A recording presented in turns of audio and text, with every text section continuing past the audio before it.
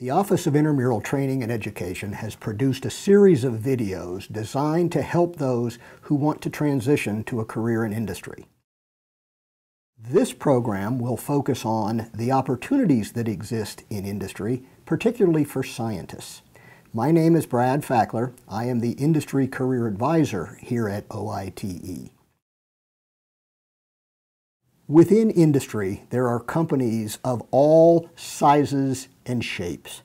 From the mega companies with annual revenues of $10 billion or more and maybe 70,000 employees worldwide, to the very early stage or startup companies that may have no revenues and only one, two, or three employees.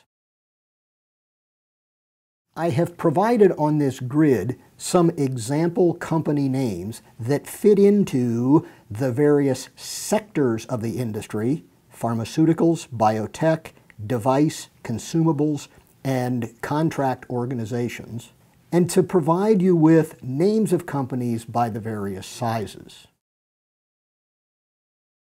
Within companies, there are a great number of positions and areas that provide opportunity.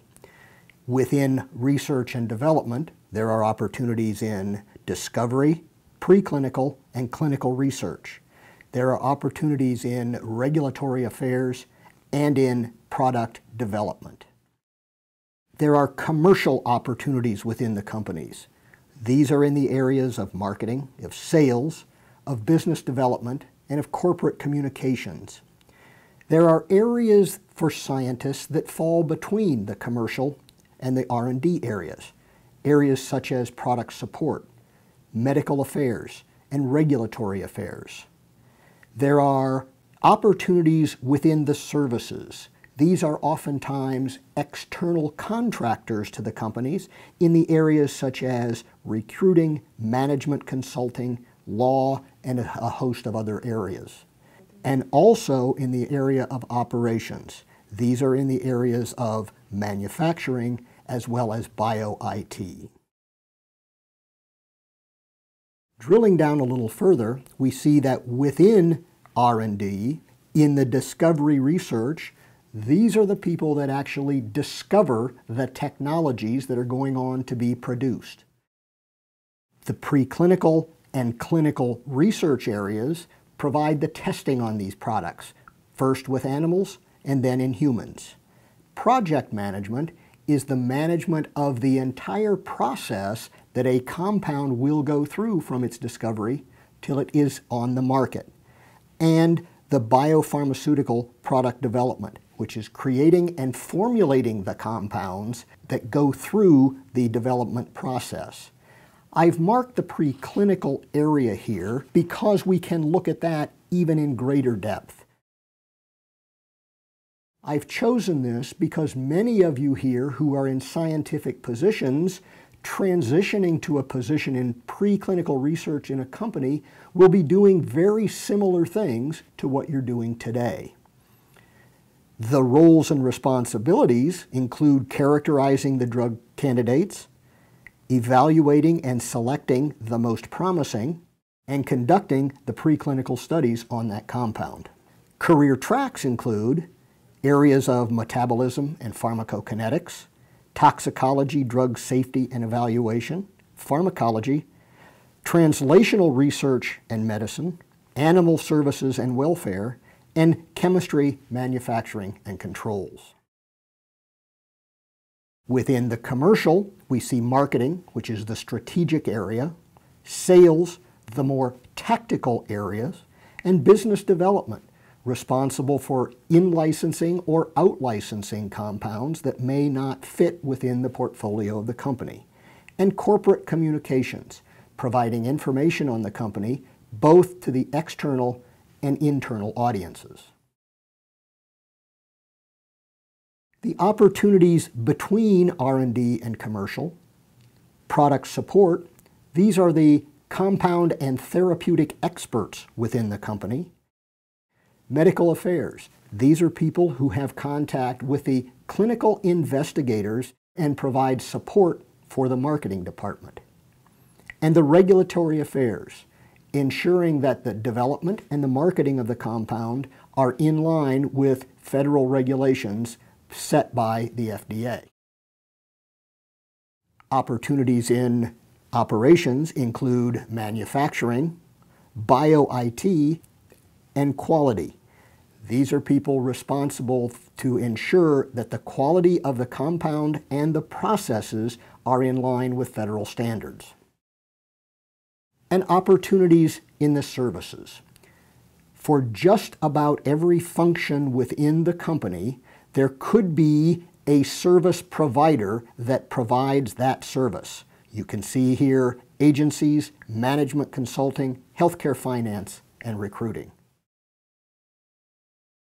When we look at this through a different lens, looking at each area by degree, we find that the commercial jobs are mainly in the areas of bachelor's degree and master's degrees.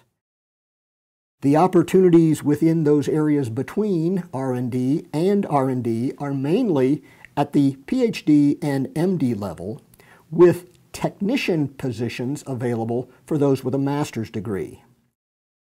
The operations, again, are mainly bachelor's, master's positions. And the services, because they go across the board, cover the gamut of degrees.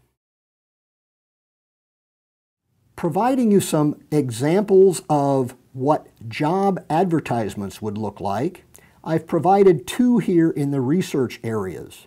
You can see the one that is highlighted with keywords a critical factor as you are looking at potential jobs for you. You look at the area of responsibility and the skills and experience they look at and try to make your resume match those skills. Other examples, which are positions in development, and again, Oftentimes you can go through and try to find the key words that may match your skill set. Now going forward over the next several years, where are the major opportunities likely to be? The research positions are going to be more likely in the earlier stage companies where the discovery takes place. Development positions will be available more in the mid to the larger companies. Business development for out-licensing opportunities will be in the smaller companies trying to out-license their technology to the larger companies. And the in-licensing, conversely, would be on the larger companies attempting to in-license those compounds. Medical affairs, as well as regulatory affairs and product support, will all be with the mid-stage to larger companies that already have compounds and products on the market. Quality will be available in the larger companies as well as with the contract manufacturing operations.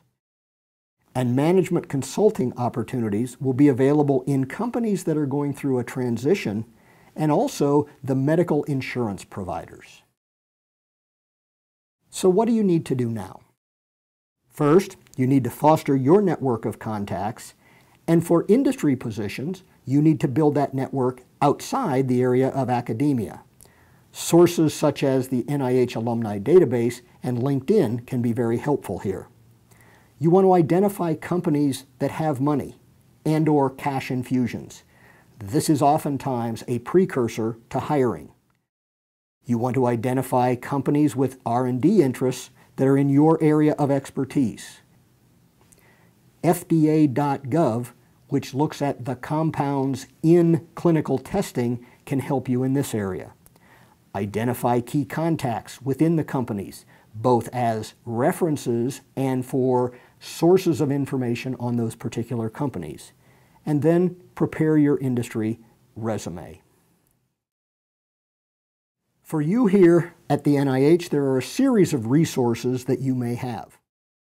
The OITE Career Center is a great resource. You can schedule an individual appointment to get career counseling in this area. I encourage you to visit the OITE YouTube channel to watch the remaining industry videos, and I wish you much success in your industry interview process.